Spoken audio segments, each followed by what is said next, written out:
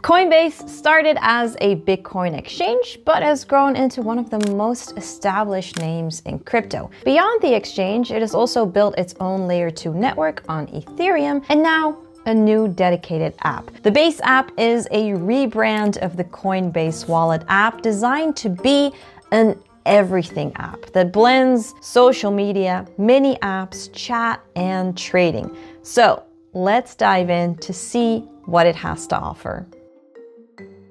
Now, a quick disclaimer we're gonna explore the beta version of the base app, which has a waitlist for access. Since getting access might take a while, you can take a sneak peek at what it has to offer. And if you're antsy, they're also occasionally offering access through their X account, so definitely keep an eye out on their account. Okay, a quick look at the website shows how Coinbase wants to build the everything app. The app lets users buy, sell, and trade tokens, store digital assets, and earn yield on USDC. Payments are built directly into the interface with plans to expand through Base Pay, a tap-to-pay system for USDC transactions supported by Shopify. And then they also have social features like posting, tipping, and messaging, and with that, they aim to take it beyond just a crypto wallet. It also includes mini apps for games, DeFi tools, and more. So we'll first go through the simplified version of the Base app. If you've downloaded the Coinbase wallet before,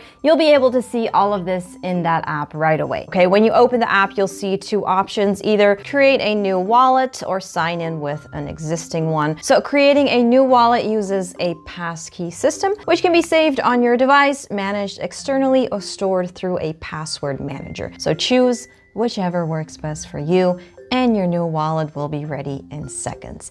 If you already have a wallet though, you can sign in using your passkey or your 12 word recovery phrase. And as always, of course, never share your recovery phrase with anyone. Now that you have your wallet ready to go, it's time to fund it. So at the bottom of the screen, tap the transfer button. That's the one with the two arrows and hit receive. Here, you can copy your address on other networks, receive crypto from a US bank, or buy directly with your preferred payment method. Your Tron address only supports USDT, which is automatically converted to USDC on base. If you're sending USD from a bank account, it's converted to USDC for free. You can also buy crypto with your credit card or Apple Pay. Okay, so let's dig a little deeper into the app. On the homepage, you can create a watch list of your favorite coins. You can see trending swaps or follow what's popular on chain and browse NFTs available for minting. The Explore tab is where things get more interesting. This is where you'll find all the mini apps from swapping and earning to bridging and social tools. Okay, then there is the swap tool, which combines token swaps with cross network bridging. So you can move assets between chains in just one step. Choose your token and select which token and network you want to receive, such as Ethereum, Base, or Optimism. The Base network currently offers the widest selection of tokens. Sending tokens is also pretty straightforward. Head over to Transfer choose your asset, input the amount, then hit send to choose your recipient. You can either send to your other addresses, paste a wallet address, scan a QR code, or enter an ENS or Coinbase ID. So review the transaction and then confirm it. Sending USDC will give you a few more options like phone number, email address, and shareable link. You can also view your NFT collection in the wallet tab. If you'd like to mint new ones, you can open NFT marketplaces like OpenSea as mini apps, and these connect directly to your base account for seamless interaction. Okay, so how does the beta version compare? Well, your main wallet will be connected to your new social account, and you'll need to claim your base name and set a display name. You can also toggle the beta version on and off, and the homepage is still easy to navigate with the mini apps sorted into different categories for you to simply choose from. Next to the homepage is where you'll find the social feed. This will show you posts and videos that you can interact with by commenting, liking, or sharing. Select the pencil icon to start creating your own post and choose whether others can buy it. Either way, you will earn creator rewards. To trade, you can browse through trending tokens, creators, and even posts. You can also set up your transaction like normal or use the QR code function to receive or send crypto. Now, we did have some trouble with our trades and we kept getting error messages.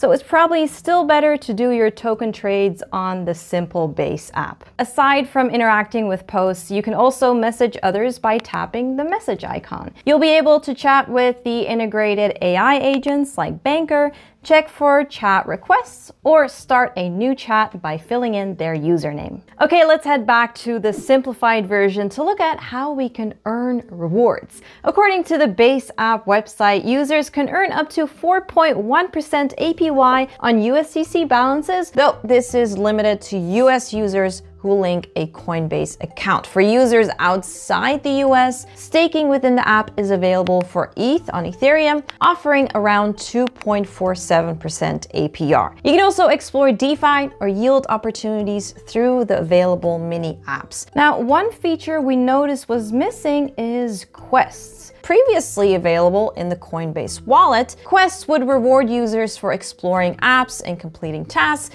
it's unclear if this will be featured in the Base app. So it seems that Base is positioning itself against other wallets like MetaMask and Phantom, but with the added twist of becoming an all-in-one app for trading, socializing, and exploring the crypto ecosystem. Visually, the Base app feels clean, minimal, Navigation is pretty straightforward with a consistent layout and clear icons, and you can even customize the theme color. But there are currently only six options for the simplified version. The beta version has more options, or you can even choose to customize your own theme. Now, performance-wise, it is generally smooth, though we did encounter the occasional freeze, but with a quick restart that was fixed pretty easily. So then how about the fees? Well, sending USDC on-chain is free, but standard fees apply to all other transactions. These are made up of a Coinbase service fee, a protocol fee, and a network fee. But this is for the simplified app. We weren't able to successfully make a trade in the beta version during our testing period,